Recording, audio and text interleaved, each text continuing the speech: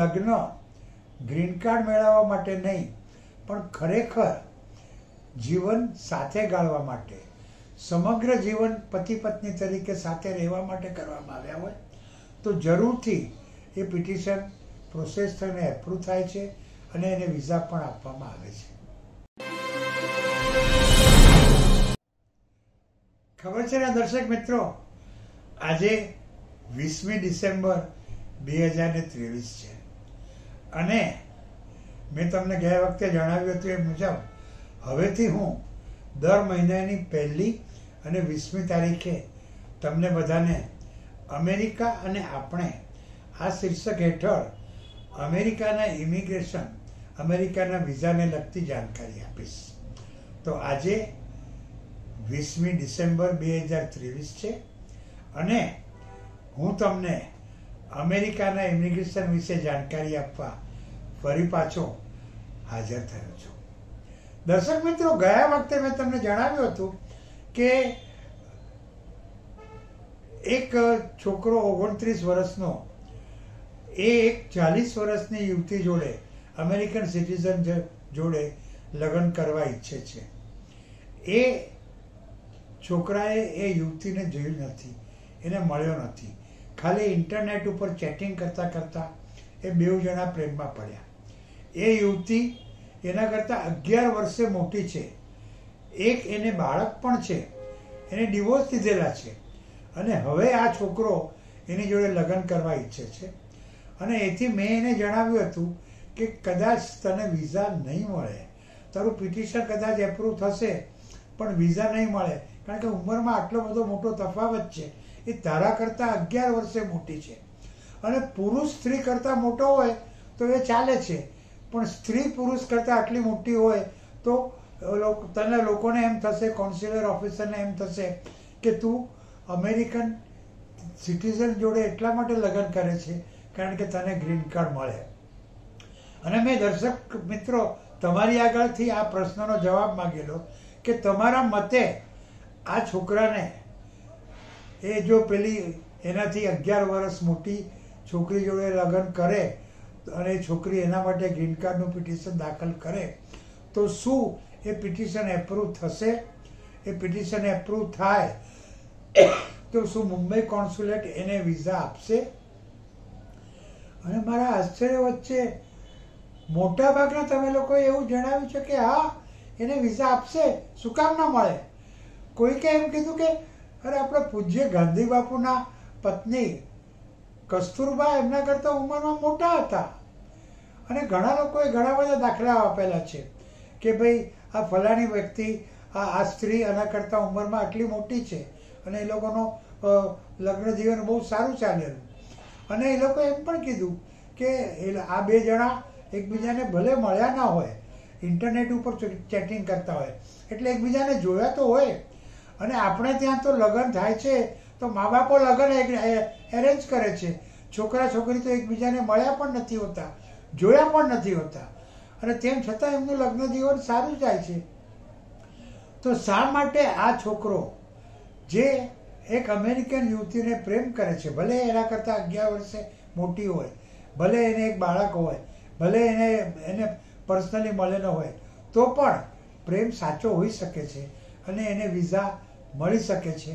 એનું petition approve થઈ શકે છે. તો દર્શક મિત્રો, મારે કહેવાનું એટલું જ કે જો લગ્ન ગ્રીન કાર્ડ મેળવવા માટે નહીં, પણ ખરેખર જીવન સાથે ગાળવા માટે, સમગ્ર જીવન પતિ પત્ની તરીકે સાથે રહેવા માટે કરવામાં આવ્યા હોય, તો જરૂરથી એ પિટિશન પ્રોસેસ થઈને એપ્રૂવ થાય છે અને એને વિઝા પણ આપવામાં આવે છે. દર્શક મિત્રો, હવે આ વર્ષ પૂરું થવા આવ્યું. અને હવે આપણે નેક્સ્ટ ટાઈમ મળશું ત્યારે જાન્યુઆરી મહિનો વર્ષ બે હજાર ચોવીસ શરૂ થઈ ગયું હશે. તો આજે, આ વર્ષ બે હજાર ત્રેવીસના છેલ્લા દિવસે, મારે તમને અમેરિકાએ એમના ઇમિગ્રેશનના કાયદામાં પરદેશીઓને જે લોકો કંઈક તકલીફમાં હોય, એમને મદદ કરવા માટે કેવા કેવા કાયદાઓ ઘડ્યા છે, એની જાણકારી આપવી છે. જો તમે અમેરિકામાં B one, B two visa ઉપર જાઓ, તો તમે જ્યારે અમેરિકામાં પ્રવેશતા હો, ત્યારે ઇમિગ્રેશન ઓફિસર તમને પૂછે છે કે તમે અહીં શા માટે આવ્યા છો? કેટલા દિવસ રહેવાના છો? તમે જે જણાવો એ મુજબ એ તમને અમેરિકામાં રહેવાની પરવાનગી આપે છે. ઇમિગ્રેશન ઓફિસરને તમને અમેરિકામાં વધુમાં વધુ છ મહિના રહેવા દેવાની પરવાનગી આપવાની સત્તા હોય છે. હવે જો કોઈ કારણસર તમને જે સમય આપવામાં આવ્યો હોય અમેરિકામાં રહેવા માટેનો, એના કરતાં તમારે વધારે રહેવાની જરૂરિયાત ઊભી થાય. તમે માંદા પડો, હોસ્પિટલમાં જાઓ, તમારો એક્સિડન્ટ થયેલો હોય કે એવું કે બીજું કે અણધાર્યા સંજોગો આવી જાય, તો શું? તો અમેરિકાના ઇમિગ્રેશનના કાયદામાં, આવા સંજોગોમાં અરજી કરીને તમારો રહેવાનો સમય તમે લંબાવી શકો છો. આને એક્સટેન્શન ઓફ ટાઈમ કહેવામાં આવે છે. બીજું, તમે અમેરિકામાં B one B two visa ઉપર પ્રવેશ્યા હો. અને તમે ત્યાં જાઓ અને પછી તમને કોઈક યુનિવર્સિટીમાં જોવા જાઓ અને યુનિવર્સિટી તમને બહુ ગમી જાય અને તમારે જે કોર્સ કરવો હોય, એ કોર્સ ત્યાં ચાલતો હોય અને તમને પ્રવેશ પણ આપે. હવે તમે જો વિઝા લેવા સ્ટુડન્ટ વિઝા લેવા એફ વન વિઝા લેવા, પાછા ઇન્ડિયા આવો અને પછી પાછા જાઓ, તો સમય ઘણો બધો થાય. અને બીજું કે તમારા પૈસા પણ ઘણા બધા ખર્ચવા પડે. તો આવા સંજોગોમાં તમે તમારું સ્ટેટસ જે બી વન હોય અથવા તો બી ટુ હોય, એ ફેરબદલી કરીને એફ વન કરી શકો છો. આને ચેન્જ ઓફ સ્ટેટસ કહેવામાં આવે છે. હવે તમે જો America B one B two પર ગયા હો, અને ત્યાં તમને કોઈ સુંદર યુવતી મળી જાય, જે અમેરિકન સિટીઝન હોય, અને તમે એના પ્રેમમાં પડો ને પછી તમે બે જણા લગ્ન કરવાનો વિચાર કરો. તો લગ્ન બાદ એ યુવતી તમારા લાભ માટે ગ્રીન કાર્ડનું પિટિશન દાખલ કરી શકે છે, અને તમે અમેરિકામાં જ રહી શકો છો, અને તમારું જે સ્ટેટસ બી વન બી ટુનું હોય, એ એડજસ્ટ કરીને તમે ઇમિગ્રન્ટ સ્ટેટસ પણ મેળવી શકો છો. આમ extension of time change of status અને એડજસ્ટમેન્ટ ઓફ સ્ટેટસ આ ત્રણેયની છૂટ અમેરિકાના ઇમિગ્રેશનના કાયદામાં છે. ફેમિલી પ્રેફરન્સ કેટેગરી હેઠળ જે પિટિશનો દાખલ કરવામાં આવે છે, એમાં જેના લાભ માટે પિટિશન દાખલ કરવામાં આવ્યું હોય, એ વ્યક્તિની બાળકો જે એકવીસ વર્ષથી નીચેની વયના અપરિણિત હોય, એમને પણ ડિપેન્ડન્ટ વિઝા આપવામાં આવે છે. પણ આ પિટિશન કરંટ થતાં ઘણા વખત લાગે છે. આજે ફેમિલી ફોર્થ પ્રેફરન્સ કેટેગરી હેઠળ તો પંદર વીસ વર્ષ લાગે છે. આટલા સમયમાં જો તમારું સંતાન જે પિટિશન દાખલ કર્યું હોય, ત્યારે બાર પંદર વર્ષનું હોય, પણ પછી એ એકવીસ વર્ષ વટાવી જાય, તો શું?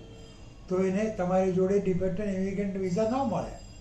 તો આવા સંજોગોમાં ચાઇલ્ડ સ્ટેટસ પ્રોટેક્શન એક્ટ તમને મદદ કરી શકે છે. ચાઇલ્ડ સ્ટેટસ પ્રોટેક્શન એક્ટ હેઠળ જે દિવસે પિટિશન દાખલ કરવામાં આવ્યું હોય, એટલે કે જે પિટિશનની પ્રાયોરિટી ડેટ હોય, અને જે દિવસે પિટિશન એપ્રુવ થયું હોય, એટલો સમય એ બાળકની ઉંમરમાંથી બાદ આપવામાં આવે છે. એટલે કે સમજો કે આ વીસમી ડિસેમ્બર બે હજાર ત્રેવીસના પિટિશન દાખલ કરવામાં આવ્યું. એફ ફોર નીચે. અને એમાં તમારા બાળકને ડિપેન્ડન્ટ છે એ રીતે દેખાડ્યું. અને એ પિટિશન વીસમી ડિસેમ્બર બે હજાર ચોવીસના એપ્રુવ થયું. તો તમારા બાળકની ઉંમરમાંથી એક વર્ષ બાદ મળી શકશે. એટલે એ વખતે જો તમારા બાળકની ઉંમર બાવીસ વર્ષની હોય, તો એક વર્ષ એમાંથી એને બાદ મળી શકશે. અને એ એકવીસ વર્ષથી નીચેનો ગણાશે અને એને ડિપેન્ડન્ટ ઇમિગ્રન્ટ વિઝા મળી શકશે. પણ આ માટે તમારે એક ખાસ ચાઇલ્ડ સ્ટેટસ પ્રોટેક્શન એક્ટ હેઠળ વિઝા પિટિશન દાખલ કરવાનું રહે છે અને એમાં તમારે, જો તમારા દીકરાને, તમારા ચાઇલ્ડને ચાઇલ્ડ સ્ટેટસ પ્રોટેક્શન એક્ટનો લાભ આપવામાં નહીં આવે, તો પારાવાર હાડમારી પડશે, તમને પણ મુશ્કેલી પડશે તમારા લાભ માટે જે તમારા ભાઈ યા બેને પિટિશન દાખલ કર્યું છે, એને પણ મુશ્કેલી પડશે, એને પણ હતાશા આપશે. આવું બધું તમારે દેખાડવું પડે. તો એ પિટિશન તમે દાખલ કરો, એ મંજૂર થાય પ્રોસેસ થઈને. અને પછી કેલ્ક્યુલેશન કરતાં તમારા બાળકની ઉંમર એકવીસ વર્ષથી ઓછી હોય, તો એને ડિપેન્ડન્ટ ઇમિગ્રન્ટ વિઝા આપવામાં આવે છે. હવે તમારું પિટિશન દાખલ કરવામાં આવ્યું હોય. એ પ્રોસેસ થઈને એપ્રૂવ પણ થઈ જાય. પણ તમે વિઝા લેવા જાઓ, તમારું પિટિશન કરંટ થાય, એ પહેલાં પિટિશનરનું મૃત્યુ થાય. તો શું? પિટિશનરનું મૃત્યુ થાય એટલે પિટિશન આપોઆપ રદ બાતલ થઈ જાય છે. તો આવા સંજોગોમાં, જો તમારું બીજું કોઈ અંગત સગું અમેરિકન સિટીઝન હોય કે ગ્રીન કાર્ડ ધારક હોય અને એ પેલા મૃત પિટિશનરની જગા લેવા તૈયાર હોય, તો એ સબસ્ટિટ્યુશનની અરજી કરીને એવું કહી શકે છે કે આ પિટિશનર જે, જેણે પિટિશન દાખલ કર્યું હતું અને એ પ્રોસેસ થઈને એપ્રૂવ થઈ ગયું છે. પણ કરંટ થાય એ પહેલાં પિટિશનરનું મૃત્યુ થયું છે. તો મને એની જગ્યા લેવા દો. અને હું આ બેનિફિશિયરી માટે એફિડેવિટ ઓફ સપોર્ટ આપવા તૈયાર છું. તો આમ સબસ્ટિટ્યુશનના કારણે પણ એ પિટિશન જીવંત કરી શકાય છે. હવે જો તમે અમેરિકામાં કંઈ ખોટું કર્યું હોય છળ કપટ કર્યું હોય, ફ્રોડ કર્યું હોય. તમે ભણવા ગયા હો એફ વન વિઝા પર અને તમે ત્યાં આગળ ગેરકાયદેસર કામ કરતા હો. અને તમને ફ્રોડ ઇલીગલ વર્ક એ બધા કારણોસર તમારા વિઝા કેન્સલ કરીને તમને અમેરિકા બહાર મોકલી દેવામાં આવ્યા હોય. અને તમારે ફરી પાછા અમેરિકા જવું હોય. તો તમે માફી માગીને, એટલે કે વેવરની અરજી કરીને એ મેળવીને અમેરિકામાં પ્રવેશ મેળવી શકો છો. આ માફી બે પ્રકારની હોય છે. જો તમે અમેરિકા ફક્ત ટૂંક સમય માટે નોન ઇમિગ્રન્ટ વિઝા ઉપર જવા ઈચ્છતા હો, તો તમારે નોન ઇમિગ્રન્ટ વેવરની માફી માગવાની રહે છે. અને તમે જો અમેરિકામાં કાયમ રહેવા માટે જવા ઈચ્છતા હો, તો તમારે ઇમિગ્રન્ટ વેવરની અરજી કરવાની રહે છે. આમ અમેરિકા એના ઇમિગ્રેશનના કાયદાઓ હેઠળ જાત જાતની છૂટછાટો આપે છે કે જેને લીધે પરદેશીઓ જેઓ અમેરિકા જતા હોય છે, એમને કોઈ તકલીફ આવી પડે તો એમાંથી તેઓ એમનો માર્ગ કાઢી શકે છે. તો દર્શક મિત્રો, હવેથી આપણે જ્યારે મળશું પહેલી જાન્યુઆરીએ, ત્યારે વર્ષ બે હજાર ત્રેવીસ પૂરું થઈ ગયું હશે, વર્ષ બે હજાર ચોવીસ શરૂ થઈ ગયું હશે, અને હું તમને આપણે જે મેં તમને જાણકારી આપવાનું શરૂ કરેલું. અમેરિકાને આપણે એ કન્ટિન્યુ કરીશ.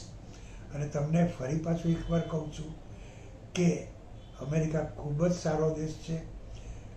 તક અને છતનો દેશ છે.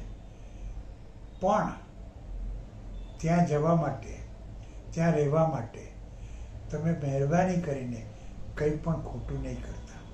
કાયદેસર જ અમેરિકા જજો. કાયદેસર જ ત્યાં રહેજો. તો ચાલો, તમને સૌને નવું વર્ષ મુબારક. Happy two thousand twenty four અને એક વાત.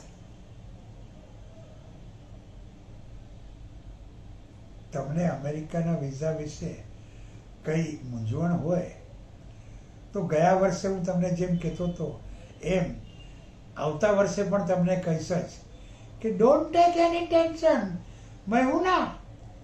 અને મારો મોબાઈલ છે, મોબાઈલ નંબર છે nine eight two zero four one nine four six nine અને ઈમેલ એડ્રેસ છે Sudhir Shah nineteen forty at the rate Gmail dot com S U D H I R S H A H one nine four zero at the rate Gmail dot com તો દર્શક મિત્રો, યાદ રાખજો, નવા વર્ષની શરૂઆત છે.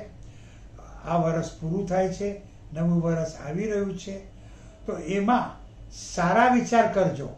અમેરિકામાં કાયદેસર જવાના વિચાર કરજો. અને કાયદેસર કેવી રીતે જઈ શકાય એ માટે મૂંઝાશો નહીં. મેં હું ના મારી આગળ આવજો.